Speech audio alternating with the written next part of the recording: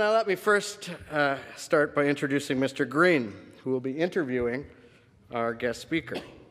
Howard Green is known to millions of Canadians. He is one of the founders of and currently an anchor on the, uh, the Business News Network, which is Canada's preeminent source for current information and business analysis. Mr. Green has won countless awards for his work in journalism and film, including a Gemini Award and two Emmy nominations for his documentary on Swissair Flight 111.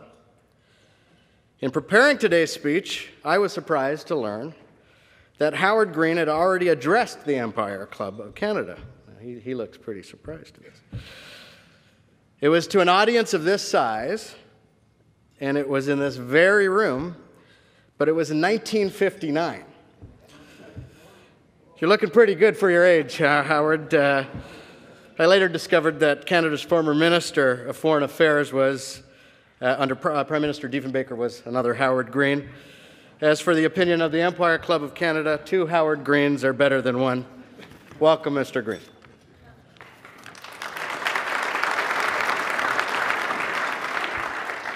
Since its establishment in 1903, the Empire Club of Canada has provided a forum for the world's thought leaders.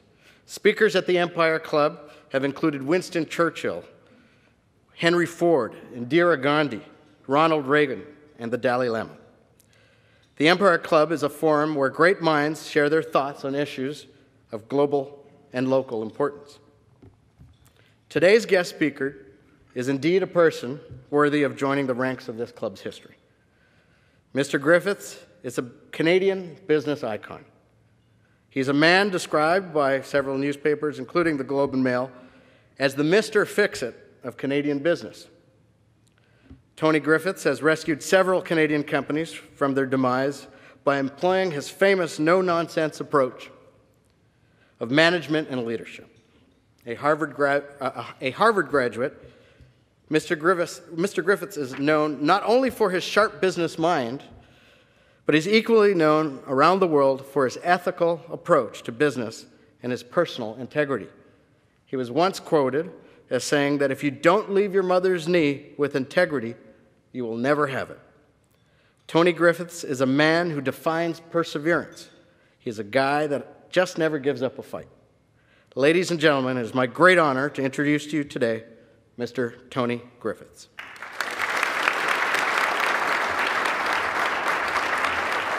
don't know how you're going to get there, but I'm a high jumper. We'll get there, won't we, Howard? We'll slip through. You all right, Howard?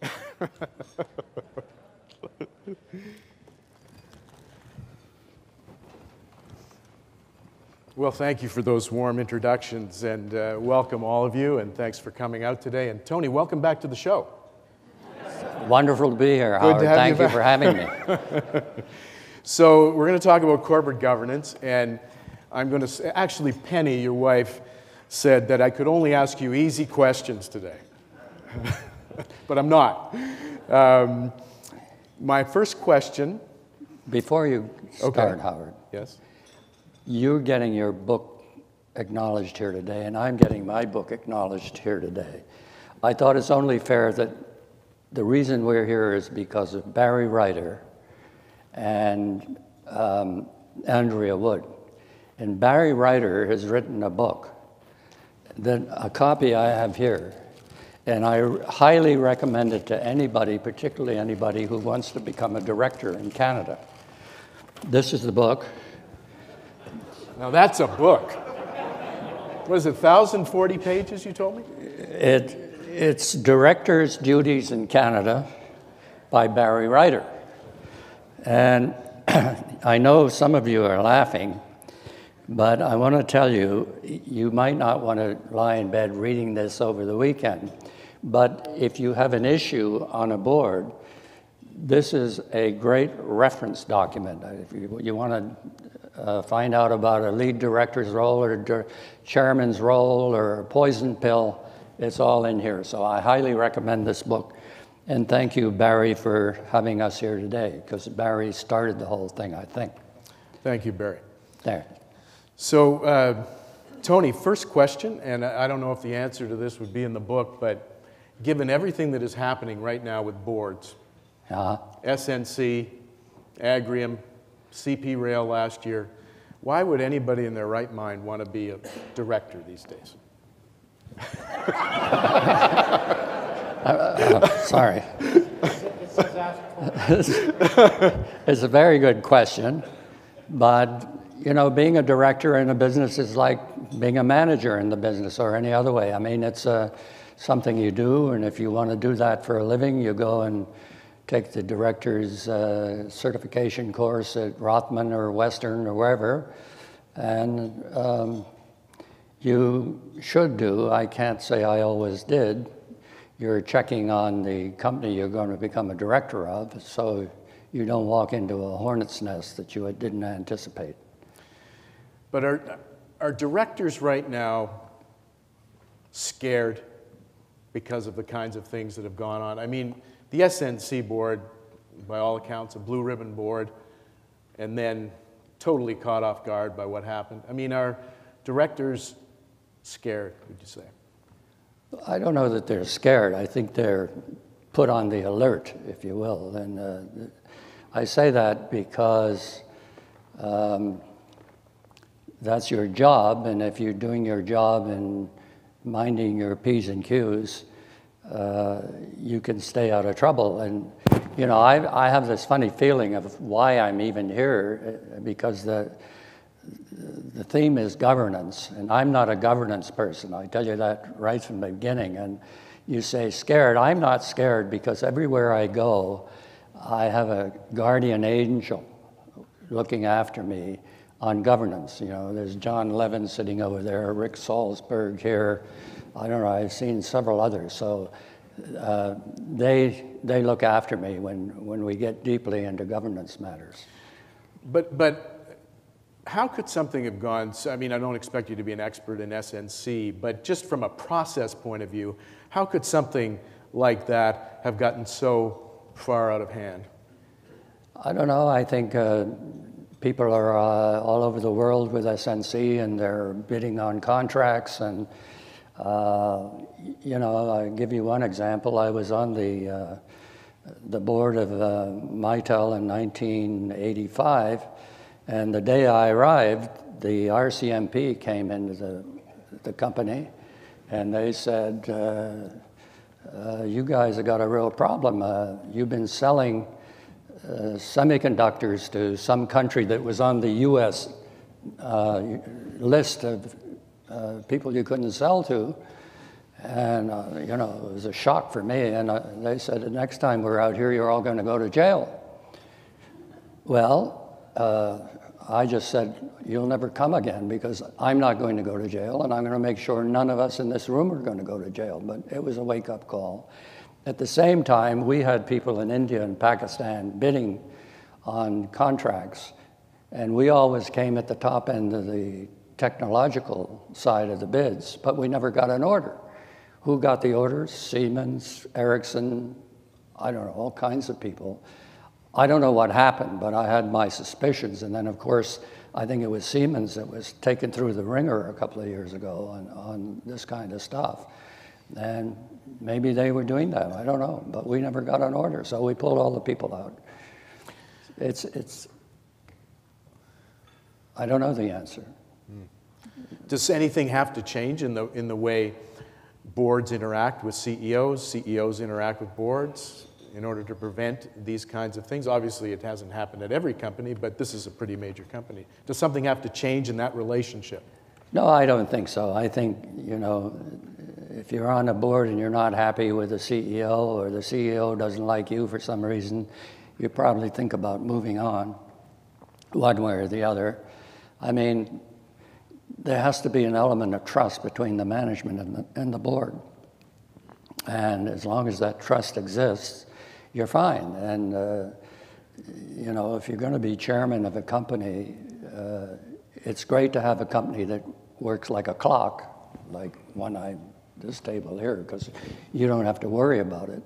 Uh, you know, every quarter they come in when they met or exceeded their targets, and everything's going well, so you're relaxed. It's when the company then gets into trouble that you find out whether you've got a good chair or you don't. And, and what's, I know you want to talk about this, what, what's the difference in, in your view? What separates a good chair from a bad chair? Well, first of all, I, maybe there should be a course on chairs, but my own view of a good chair is somebody that is a constructive inter- interface between uh, the management and the board and creates a sense of uh, cohesion and uh, constructive collegial uh, atmosphere. And uh, unfortunately, I mean, I've been in a number of boards where the chair decides that he or she is more equal than other directors. And of course, uh, you can correct me, Rick, but uh, all directors are the same. Uh, so once you come to a decision point or point of uh, debate about an issue on the board, all the directors are equal. And these chairs somehow think they uh, have more power.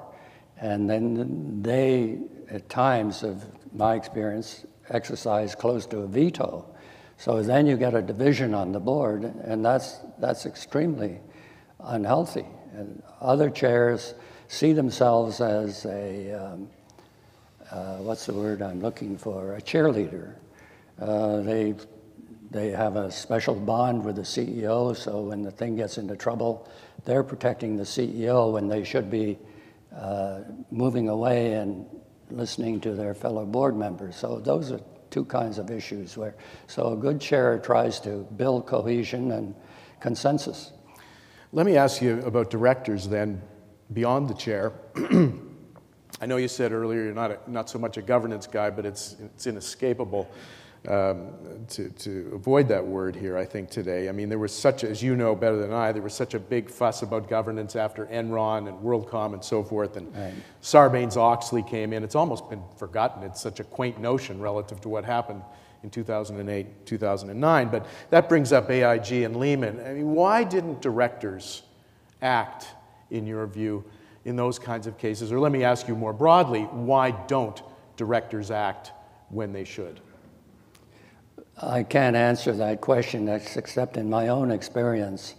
Uh, I guess I put it this way if you ask a, a lawyer uh, about a board issue, you get a what I call a professional legal answer. If you ask an accountant a similar question, uh, you get a professional answer. Professional because they are professionals. But if you have a generalist as a director, sometimes they're there because they have a good name somewhere and they're not really business people, or uh, for them it's a point of cachet or something. And I think what I would encourage anybody to do that's a, a director that's uh, to maintain your professionalism is to do your own homework. And uh, I've always said to myself, if I don't like what's happening, what would I do about it?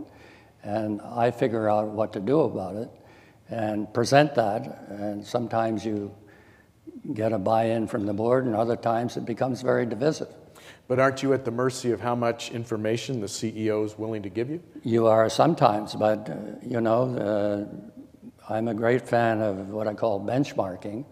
Uh, you get into a company and it's not doing well, and uh, the first thing I do is say, uh, what are the competitors doing? And you analyze what your competition is doing. And I had a great example of that at uh, Harding Carpet back in the early 80s, where you know, I didn't know anything about the carpet business, and the CEO who had been there a year and been recruited as a carpet expert came in, and the thing got worse after the year. And I, we said to him, uh, uh What's, what are we going to do about this? He said, Oh, you can't, don't worry about it. All, all our competitors are in trouble. So I went to my office and I got out the financial postcards. Most of you don't remember what they are, but this before the internet, and I got the financial postcards, and I got eight carpet companies, and I started looking at them, and bang, here was one making a lot, two making lots of money. So then you work back from there and say, why are they making money and we're not making money? I, I guess the parallel would be the, uh, the uh, Ackman CP takeover because one has to wonder what was going on in the CP board. My guess is they were sitting there thinking they were okay and they were doing fine, and somebody else said, You're not doing fine. They didn't seem to rise up and deal with it. I mean, they just lived in their little cocoon. How about they were paralyzed with fear?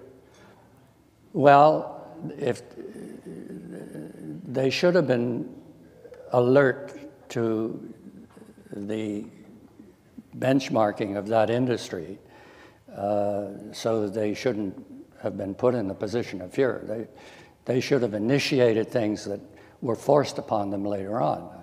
I'm sitting here looking at a gentleman called Bill Gregson. He's my classic example of a guy that's brought into a company called The Brick.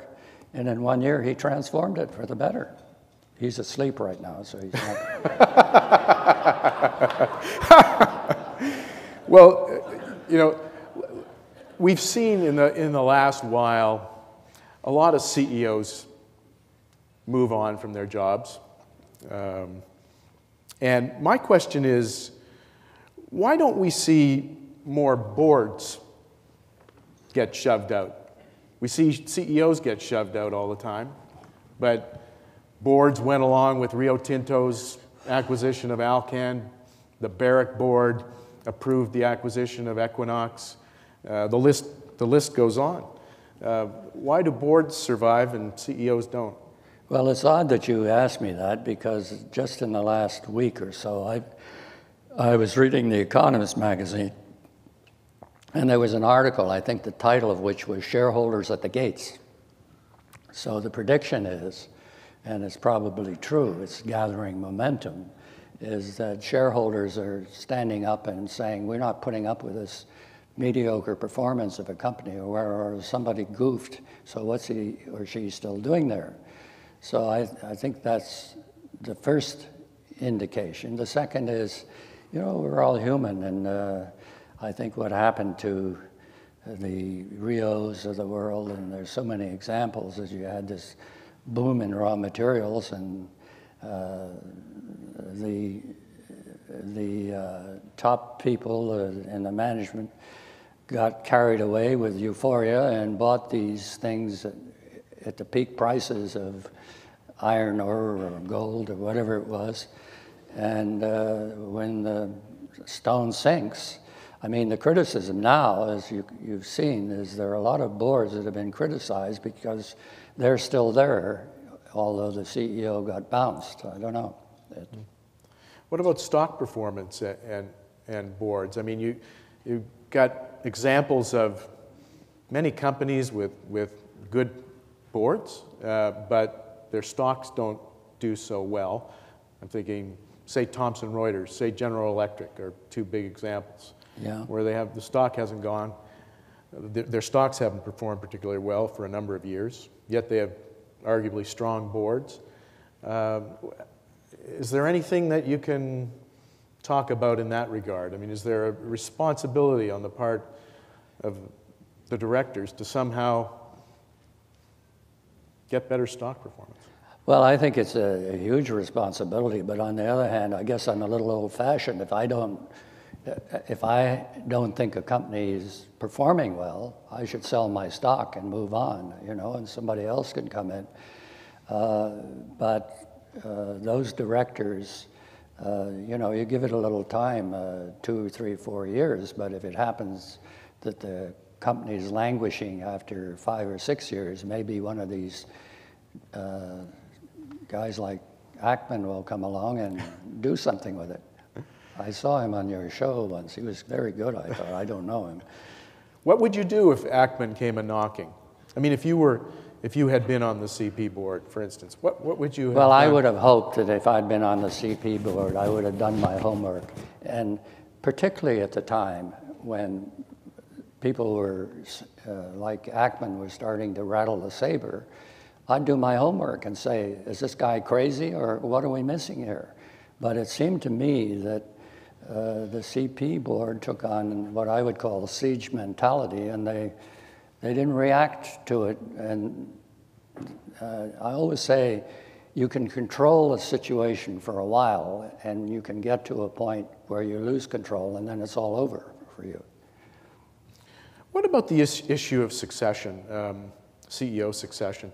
Many um, governance types have told me over the years that that's the number one responsibility for a director, making sure that there's a proper succession plan in place. I don't know if you agree with that, but in the, in the instances of Rogers and Encana, for instance, it seems like those companies caught the market by surprise. All of a sudden, there were announcements about their CEOs leaving. In the Rogers case, over a longer period of time. Uh, but how big a responsibility do directors have on that score? Well, you say it's the first obligation of a director. I think it probably the second. The first one is to hire and fire the CEO. I mean, if you have the wrong CEO, you got to get rid of him or her. Uh, uh, that's the first issue, and I guess that dictates the second. Is if you're going to do it, you better have something else in mind. And most companies I've been involved with, they they have a plan. Uh, you don't always enunciate it because uh, there's no need, and, and, you don't know when the guy's going to get hit by a truck or anything. So you you carry on, but you do have a plan, and yes, definitely, it's the board's obligation to have one, and it's very satisfying when if you own a stock and something happens to the CEO and there's a predictable transition, it's very comforting. At one point, you said he, and then you said and she. Uh, I want I'm Women- already in trouble. women on boards, women in the corner office. Uh, I'm all for it. And in fact, I'm, as, as they say, I'm glad you asked that question. in this morning's Globe and Mail, there's a headline under governance that women are smarter than men on complicated situations.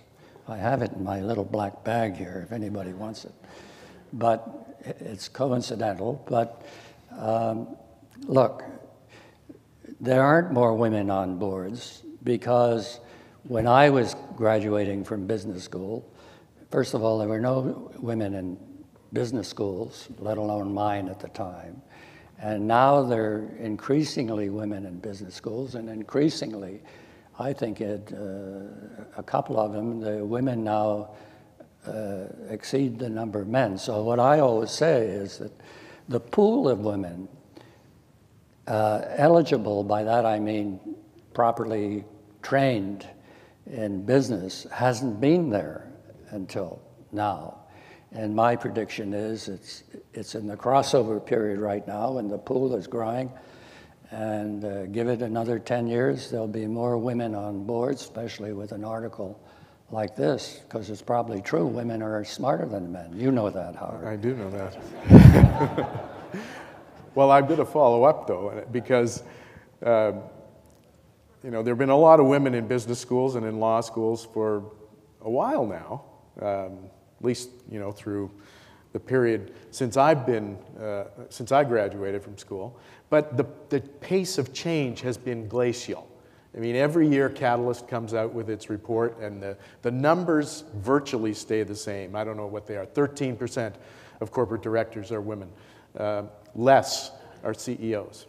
Why is it glacial, even though there are those women out there, presumably with the qualifications and more qualifications Well. I, I don't have a finite answer to that, but uh, what I think is happening is, is that uh, I use the analogy of back in the 60s, uh, it became, a, people started saying, we've got to have a French speaking person on the board. There were so few eligible names uh, for that back then because typically in Quebec, uh, you were brought up to be a doctor, a lawyer, a teacher. Uh, so there wasn't, again, the pool of talent for business there. Now, if you want a French speaking director, it's a piece of cake. And I think women are coming up uh, through layers at the banks and uh, at other places and the long and the short of it is, uh, um, I, I, as again, I, it's, it's just a question of time. It's going to happen. What, what about when people leave boards? We do have people who occasionally leave a board. Uh, there's a notification, but you never, the public never finds out why, unless Yeah. there's a, a source who shall not be named, um, person familiar with the situation. Um, should companies have to disclose why people leave boards? Because sometimes, presumably, it's relevant and material to Well, it could be. Uh, I mean, the, the company that comes to mind, of course, is Hewlett Packard. I mean, they've been through this two or three times in the last eight or 10 years. So they have an accident prone board. Uh, but from my point of view, I guess there's, unless it's some horrible reason, I mean, the best time to leave a board is when the annual meeting comes up. So you just say, I don't want to stand, and you can, you can use a lot of reason. But if you, if you choose to leave in the middle of your term, it is awkward. And unless you want to blow up your company if it's a bad reason, I guess there's a tendency not to talk about it. I mean, uh, it could be detrimental to the company, depending on the reason. What, what do you think about the, uh, the courses that people are taking to be directors these days? Oh, I think they're outstanding. I mean, I, this didn't exist uh, till the last sort of 20 years, and uh, many, many of them, as you know. And I, I think it's a, a terrific thing. And once again, I would say uh, every director should have a copy of this book on their course because, uh, in fact, if you read this book, you don't need to take the course. You can speak to Barry. Barry, do you have them on sale here today? Yeah. By the way, I should, I should say that Howard is writing another book. You know, he wrote uh, Banking on America. He's writing another book about his own life. It's called uh, Fifty Shades of Green. is that right? I'm blushing, Tony. Good. um, yes, You- Where you was take I? orders outside. there's the camera. Uh, we're, we're getting near the end, and, and I hope you've Thank thought of some uh, questions because we're going to open it up to questions in a couple of minutes. But you know, I want to end on something positive uh, because I'm ha- I've been hammering away at you here. Um, you you like the notion of so-called rebounders, Yeah, people who've had a knock but come back. yeah. And can you, can you put that, can you frame that for us in the context of our conversation here today and corporate life? Yeah, I, uh, actually, uh, that word came to me out of a book I read not too long ago. It's called Rebounders, and it's written by a guy I think called Rick Newman. And it's a story of sort of like 10 individuals who had crises in their lives of one kind or another and rebounded. And I think of the, so many people uh, that I know in business, particularly entrepreneurs. Uh, actually a, a friend of mine whose board I was on in Ottawa called, his name, uh, the, the name of the company is Calian Technologies, very successful company. And it was written by the guy that founded the company, who subsequently uh, became a controversial mayor of Ottawa, Larry O'Brien. And he's just published a book called uh, Ethical Entrepreneurship. And in there, he talks about his first attempt at building a business and how he was so naive, he got completely wiped out. And he picked himself up the ground and started all over again. And in this book, The Rebounders, there's three or four really interesting uh, articles, uh, chapters. One on uh, Bogle, who built Vanguard Equities Group. He, he had terrible problems in his early life before he pulled off the winner. Another one is James Blake, the tennis player who had a very bad accident, nearly broke his neck. And then after he broke, uh, he was out for two years. And then he came back, and his father was dying, and he was close to his father, so that put him aside for another year, and then he got shingles in his eye, of all places. And actually, uh, being a tennis fan, I happened to watch uh, the tennis last night or the night before, and there he is playing. So he's a rebounder. And I think of so many people I know that have, uh, this is what you call a mature audience. I, I'm used to speaking to, I, I don't mean you, Brian. This, this, I've been, I've been out talking about my book to MBA students, and all these MBA students sort of say, you know, how, how do you do this and where you're going and all this sort of stuff. And the only advice I give them is first of all, look at your business life, number one, as an adventure, and B, if something bad happens and you got knocked down or you lose a lot of money or something, well, get up and what I say, grow out of it, which would be a rebounder. So that's what a rebounder is. All right. Well, that's great, Tony. Thanks Yeah. very much. Thank you, Howard.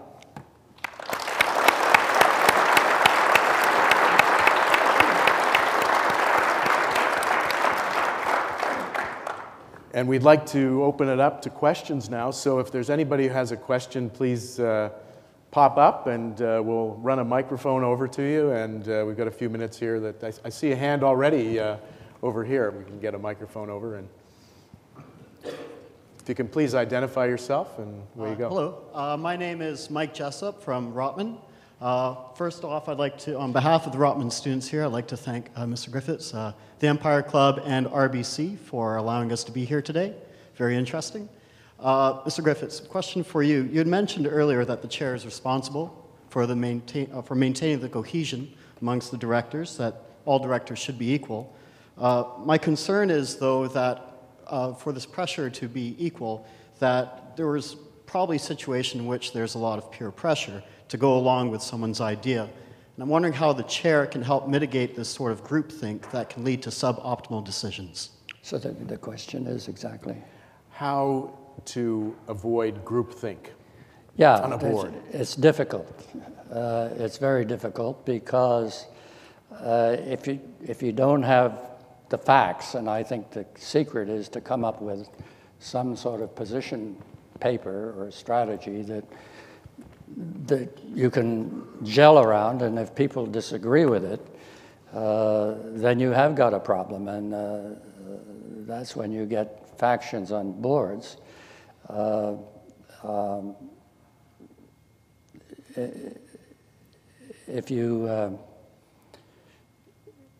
I guess in the, in the back of my book, I talk about a, um, a matrix that I use on companies. So it forces you to gel around a plan or, so, and if you, if you can't gel around it, you got a big problem. And uh, that's when these board wars arrive and when you have uh, dissidents coming on the, on the table. You talk about envisioning the future of the company in that matrix and Absolutely. actually thinking Yeah. about how much money you want to make at the end of the at the Yeah, end of the and this goes back to my comments about benchmarking. I mean, you take the best people in that particular industry, best operators, and you see what they're doing, and then you say, How do I get there? Because there's no point in trying to fix something uh, if you don't know what your ultimate goal is. I think there's a Chinese saying that if, if, uh, if uh, you uh, if you don't change direction, uh, you'll end up going, going where you're going. In other words, if you don't have a goal, forget it. And the worst thing to me is not to have a goal and be trying to fix something because you don't know where you're going to wind up. I should say it's a great book. It's called Corporate Catalyst, and uh, you can pick one up outside there today. Um, any other questions in the group? Hi. Mr. Griffith, um, thank you for your presentation. Um, our high school students today, are they presented with a curriculum that um, prepares them for the next layer of education? And secondly, with the technology, they can just click on and get an answer. So how are they going to develop their ability to problem solve? You're asking me about how students Are prepared for the next level and problem solving?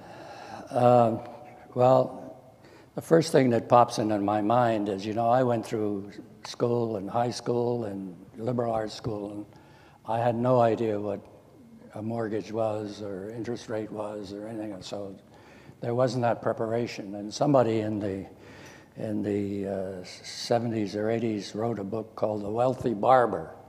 And I would recommend that book for any child growing up because these things are simply explained. And nowadays, I mean, there's so many ways you can educate kids because of the internet and sort of virtual courses you can take on the internet that uh, any school should encourage that, in my view.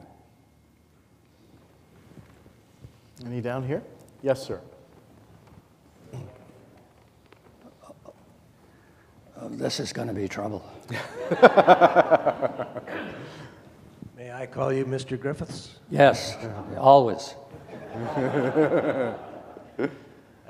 I'm interested to know how you feel when a hedge fund steps up like Mr. Ackman has done, uh, and on the other hand, uh, how Jana has recently done with the current situation. Uh, I think uh, that the hedge funds, um, you might say, operate with very few rules of engagement, whereas the companies who might be defending, if you will, uh, are always under the scrutiny of various and sundry governing bodies and are at a bit of a disadvantage because they're always denying something that they've been accused of. And I guess my concern is that when a hedge fund, as a dissident shareholder, steps up and takes issue with how a company is being run, um, they often are acting in the short term interests of their own shareholders uh, versus the long term interests of the uh, target company's shareholders. And I just wondered how you, how you feel about uh, companies defending against uh, short-term interests of a hedge fund who might own 5% of your stock uh, versus the long-term good of the company, which, uh, with, I might say, a proven track record in the case of Ag- Agrium, um, I just think it's, it, they're operating under two sets of rules. Well, I Is- think Is there a uh, question somewhere in there? the, uh, the world is divided into hedge funds that are after short-term gains, uh, and you think of names like Carl Icahn and so forth that, that do that, and there are others, uh, I mean, I don't know Mr. Ackman, but I, I, I got to say, uh, for the shareholders of the CP that hung in, he did a good job. Uh, he, he really did. So I'm not sure you can generalize on it.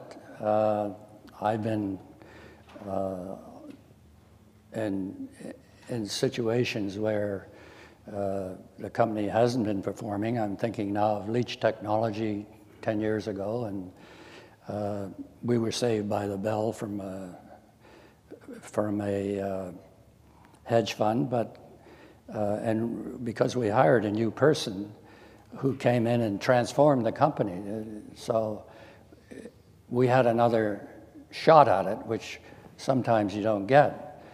On, in principle, I- I'm supportive of people that are going to build the company on behalf of the shareholders. Sometimes uh, they're pretty aggressive. It's better to do it in a friendly way.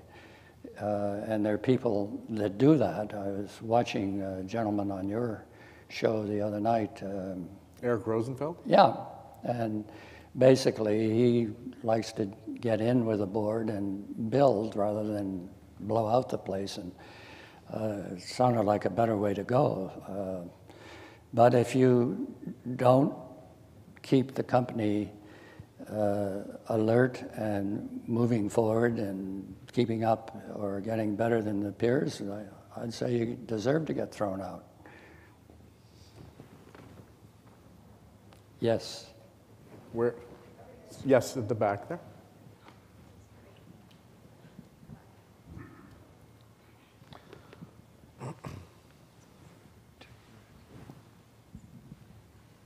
Mr. Griffiths, Yes, sir.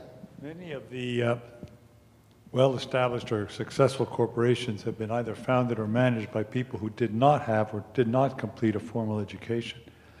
So when on the board you're trying to select a CEO, what are the human characteristics you're looking for in a CEO? Not the professional characteristic, but what are the human characteristics that make a great CEO?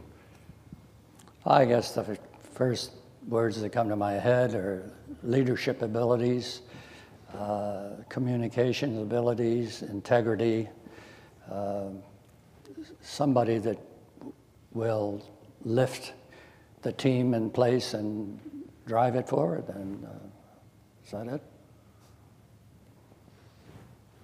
Any? Uh, excuse me. Hi. Oh, sorry. Yeah. Yeah. Uh, my question is with regard to dual class structures in Canada, where you might be a director of a company that has uh, shareholders' interests in mind, but the shareholders might be in two classes, one with votes, one with no votes, one with multiple votes, one with just one vote. So if you're a director of a company like that, and perhaps you have been or choose not to be, I'd like to hear your views as, as a director and it's the dual class structure itself. Thank you. Yeah, I mean, uh, it's, it's certainly uh, a structure that exists widely in Canada, particularly in the communications business. Uh, you know, I can argue uh, that some of the great companies have grown up in that structure. One is Power Corp, for example. Uh, and uh, actually, years ago, um, a friend of mine uh, uh, named Michael MacMillan was CEO of a company called Alliance Atlantis, where actually I met Barry Reiter and uh, Andrea Wood. Uh, the long and the short of it is, uh, Michael came to me one day and he said, I'm, I'm going to go public. And I said, Well, have you thought about creating a dual class of shares? And Michael said, Yeah, but my RBC financial advisors and my lawyers, I think they were Tories, but I'm not sure, said, You can't do that. I said, Michael, look, you go in the next morning and you tell your lawyers and financial guys that you couldn't sleep last night. Uh, you, you don't want to lose control of your company, and if you don't have this structure, you might lose control of your company.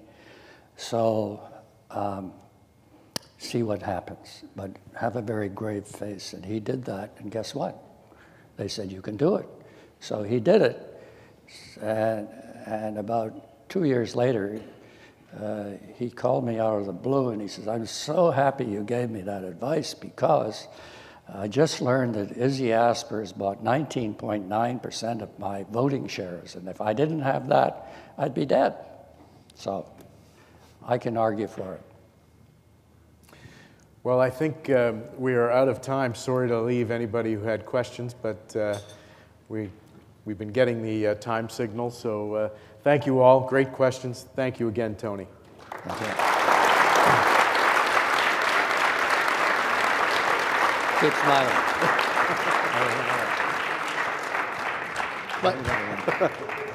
I'd like to call upon Mr. Barry Reiter from Bennett Jones to do the formal thank you. Thank you. Um, it's, a, it's a great honor to be called on to thank our speakers today, um, not just because of the kind words that uh, Tony was able to, a person like Tony is able to, to say about my book project, but also because today represents a bit of a fulfillment of a dream for me. Uh, I was on the board of Alliance Atlantis with Tony for, for many years, and we talked about things during board meetings and prior and after them. And one day, Tony mentioned he had a manuscript for a book. And he started telling me what it was about, and it was his experiences as a business person and lessons he'd drawn from business. And I asked him if he'd let me read the manuscript. And under strict conditions of confidentiality, he gave it to me. I took it home with a plan to read it over a few weeks, and I started reading it, and I did stay up all night because it was an amazing manuscript. And I remember calling him the next day and saying, Tony, you got to publish this thing. It's, it's fantastic. It's full of great lessons.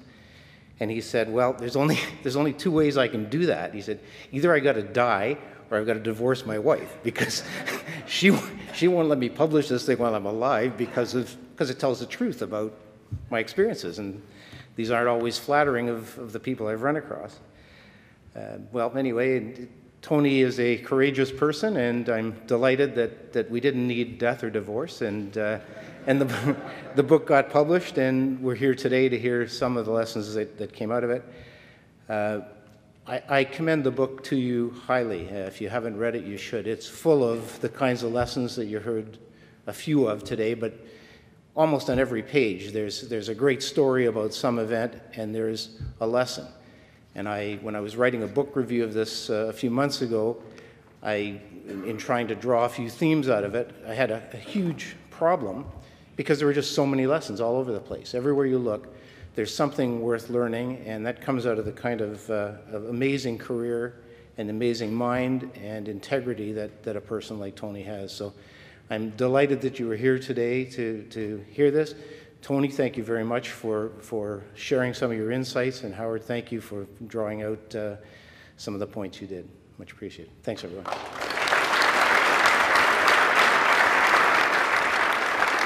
Thank you, Barry. And on behalf of the Empire Club, I'd like to present both of you with a book. It's a copy of Who Said That, a selection of quotes and notes from 100 years of the Empire Club. Uh, and I'll, I'll leave this at your place. Finally, each of you should have your seat a, a, list of upcoming events. I'm pleased to let you know that we have a number of great speakers that are coming. Uh, tomorrow, we have Justin Trudeau here at the Royal York Hotel. And uh, on Thursday, April 4th, we have Richard Garneau, President and CEO of Res- for, uh, Resolute Forest Products. Uh, I'd like to thank Russel Metals, Inc., and Deloitte for sponsoring our event today. And thank you to Derek Leahy of RBC Dominion Securities for sponsoring our student table this afternoon. For those of you interested in purchasing a signed copy of either Mr. Griffith's book, Corporate Catalyst, or Mr. Green's book, Banking on America How TD Bank Rose to the Top and Took on the USA, they both kindly uh, agreed to do a book signing after this lunch outside. I'd like to thank the National Post as our print media sponsor this meeting will be carried and aired on Rogers TV. We're very grateful to Rogers TV for their ongoing support. We're now on Twitter and Facebook, and as well our own website, empireclub.org. Thank you all for coming. Thank you to our speakers. We look forward to seeing you again soon. This meeting is adjourned.